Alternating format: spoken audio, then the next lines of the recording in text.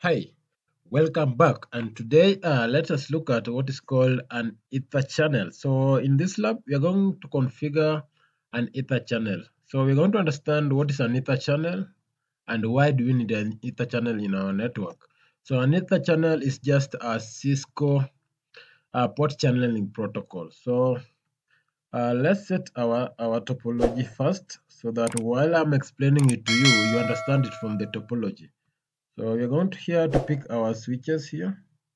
So come to switch, uh, I'm going to pick uh, this switch here. This is layer 3 switch. And also those are the, that other switch. Then we're going to uh, give it to gigabit ethernet. So gigabit ethernet uh, 1 set another gigabit ethernet 2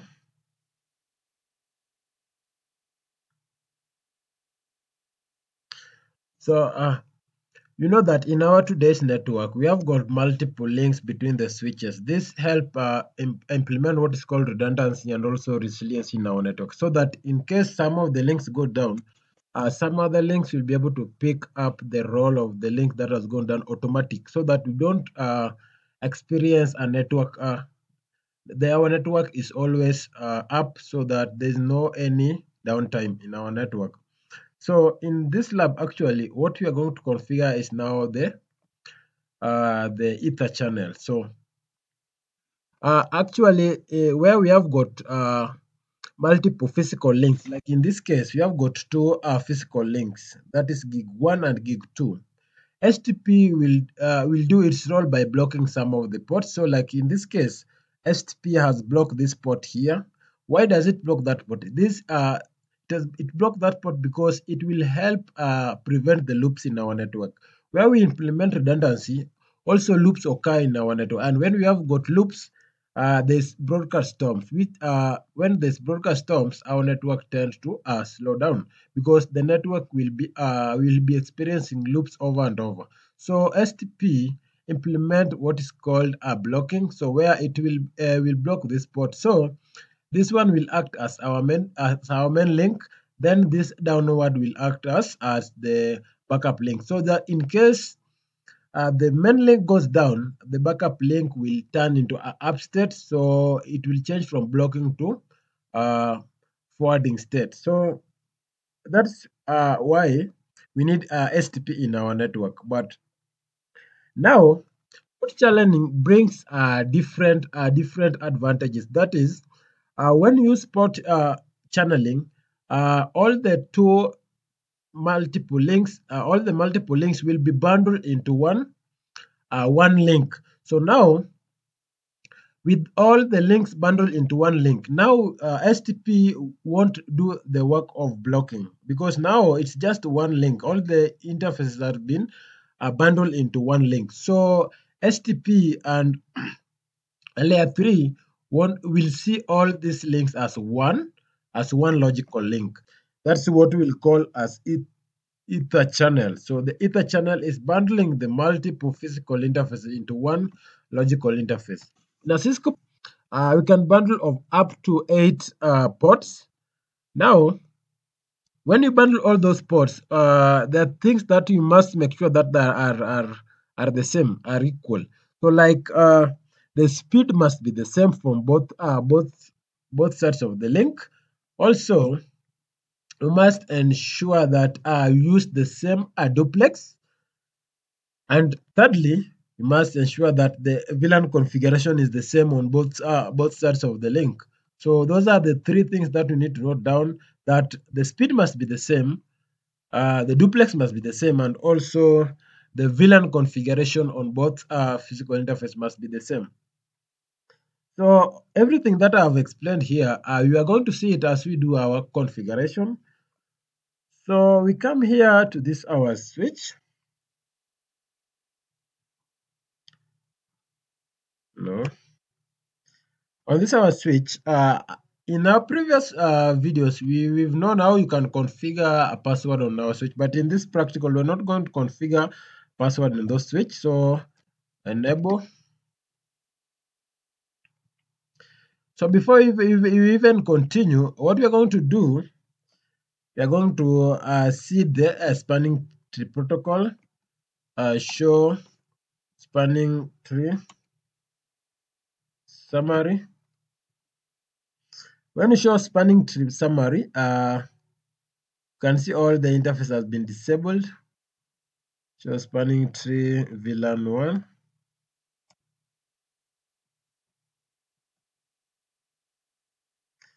When you see uh, when you show spanning tree VLAN 1, you see here we have got two interfaces, gig 1 and gig 2, and both are designated. Uh, designated means that uh, both the interfaces are doing what is called forwarding. Both is forwarding. So gig 1 and gig 2 are both doing the forwarding states.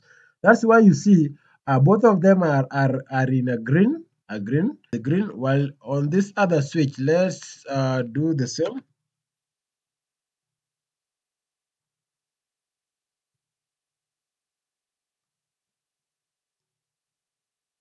Enable. So on that switch uh show uh, spanning tree VLAN uh, 1 when do a spanning tree VLAN 1 you see here gig 1 uh, is a root port a root port and now and gig 2 is an alternate port so that uh gig 2 once the root ports go down goes down, the root port is in a forwarding state while the alternate port is in a blocking state. As you can see here, blocking, while this one is in a forwarding state. So once the root port goes down, the alternate port will take over the role of the root port. So it will, da it will do the forwarding of, of the frames. That one was about the uh, STP, the spanning tree protocol. But in this our lab, we want to implement now the ether channel. We see how uh, the interface being bundled together so that we see it as one logical interface so that we don't uh, see the role of STP now. So we get into that our switch.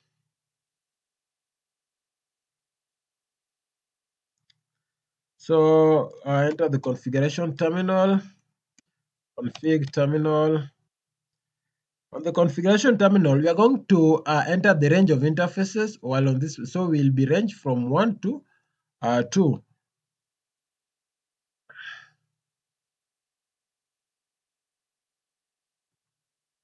So interface uh, range gig uh, 0 slash 1 to 2 and that uh, on that interface uh, we are going to tell it switch port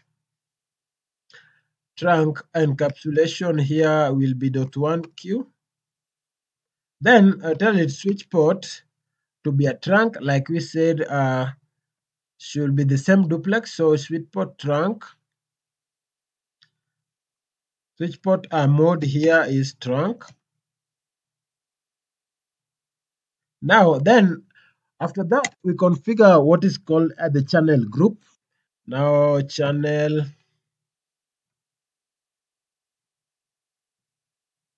Channel group is when you question, you can see the group ranges from uh, 1 to uh, 48. So you choose the a number from 1 to 48. So channel group here uh, 1. Then mode.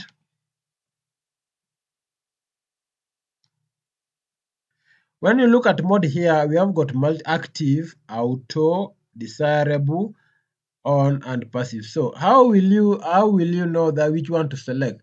Like for the one active active and uh, passive these one are used for the lsp so that is the lsp while while the desirable and auto this one are used for the cisco. That is the link aggregation uh, protocol. So we have got different modes of negotiation so these two uh, switches will implement what is called a packet negotiation. So they will negotiate.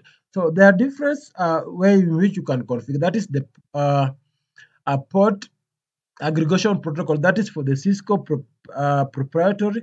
While we have got also the link aggregation control protocol. That is for the IEEE 802.3 AD. That is the one that is used for uh, non-proprietary uh, uh, vendors. So any vendor can use uh, LSCP, LSCP modes. While but for Cisco, we use uh, the port aggregation control protocol. So well, you, you want you are in a Cisco environment, so we will specify it as a mode as auto or desirable. But when when you want to use a multi-vendor, that is like uh, any organization can use, any vendor can use uh, active and and the passive one. So we are going to use the active. So you, you need also to know the difference between active and also the active and also the passive. So while the passive, it only receives the LSCP packet, but it doesn't re re reply uh, to any uh, uh, negotiation packets. While with the active, uh, it negotiates uh, the packets, uh, does what's called negotiation. So that's how how you need to what you need to understand about the the modes, why and which one under which circumstances should you use the Cisco and which circumstances should you use the LSCP modes. So, but uh, all work in the same, whether you use the Cisco, all works in the same. You can use both in this packet tracer. So it's upon you which one you choose. In this my case, I will use, I will be using the LSCP mode. Like here, I have used the channel group to be uh, active. So after that, you exit once you exit, we are now going to create a, a, a port channel, the interface into which we are going to bundle the, the physical ports. So we create interface a port channel. The, the, the group, uh, the, the channel number must be the same as the group that we created up there. So the group we created group number one, so channel one. On that, you also we are going to give it a switch port, a trunk, encapsulation here will be dot one Q then uh, switch port uh, mode here will be trunk. Then we are going to tell uh, that uh, that trunk to allow specific VLANs to allow specific VLANs. So switch port uh, trunk allow uh, VLAN one, two, and three. So like we said, the same thing we configure on this switch are the same thing that should configure on the on the other switch all the configuration must be the same the VLAN the duplex mode and also uh, the speed rate so we are on this uh, on this other switch number two here. Let's give it a name. Uh, so config uh, terminal. So host name here will be uh, switch 2 go back to this and give it host name of switch 1 exit exit again so config so host name here will be switch 1 so while before we configure the ether channel, you still uh, see this uh, this port here is still in a blocking state. So we go to uh, that other switch. So enter interface range. So interface uh, range here will be gig zero slash one uh, to two. Then uh, switch port here trunk encapsulation will be dot one q then a switch port here, this is a mode here will be trunk. After that, we are going now to create a, a channel group. So channel channel group one mode here will be active. After that,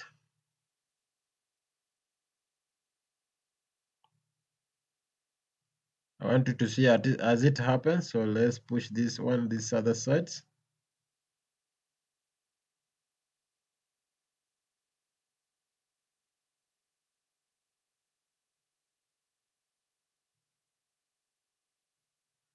so channel now we are going to create now after that we create what is called a port uh, interface port channel so interface where we're going to bundle the physical interface. So interface port, a channel, they say the, the, the number must be the same as the group. So after that, tell it switch port, uh, a trunk, then encapsulation here will be dot one q.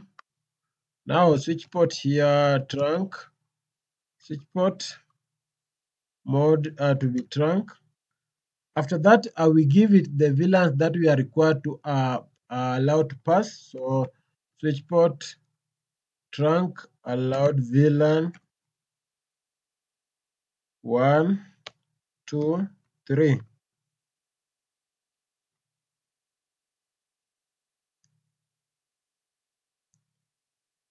That uh, we exit. So we see the interface is still uh, negotiating. So now after the after it has negotiated the lsp packets you will see all these interfaces will turn to green from yellow to green. So let's just give it time and see as it process that. You see now all the interfaces turned to uh, green. Uh, now uh, uh, L, uh, the STP and the layer, layer, layer 3 uh, protocols will treat uh, all these uh, physical interfaces as one one logical interface. That's not, that's uh, why all the interfaces are in the app. There's no interface that is in a blocking state. So after that, we're going to do some of the I want to do some of the verification commands. So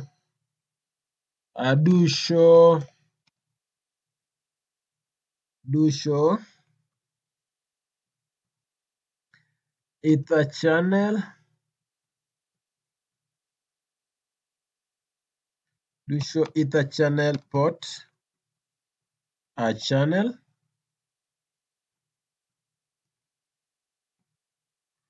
You use that command do show ether channel port channel you can see here uh, uh, this is a primary aggregator. Now the protocol here we are going we are using uh, lscp like i said uh, we are using lscp and uh, the interfaces here we are gig 1 that is active and also gig number 2 uh, that is also in active state. Come back to this our exit exit so uh, show. Show ether channel uh, port channel. And look at uh, you show that you can see the same. Gig 1 and gig 2 are both in uh, active active state also show ether channel summary. When you show ether channel summary here you see here uh, the interface here. Now the group is group one. Uh, the ports uh, the the port channel here then protocol here is lscp then the interface that has been uh, bundled into that logical interface are gig 1 and gig 2 so i believe uh, all what we needed has been implemented so now you now know the uh, the reason why we need uh, Ether channel in our network. So know that Ether channel is a Cisco port channeling protocol, and we need to know that uh, LSCP is a non-vendor uh, is a non-vendor proprietary, while the LS while the port aggregation protocol is a vendor specific. That is a Cisco uh, a Cisco protocol that is used in a Cisco environment. So thank you guys. I believe you understand every bit of uh, what I've explained in this practical. In case you have a question, just uh, feel free to ask me in the uh, comment section and I'll be able to respond to you. And if you have a task that you need to be helped to uh, tackle, I can also help you tackle. Just uh, hit me in the comment section and I'll be able to reach you. So thank you and let's meet in our next uh, video tutorial.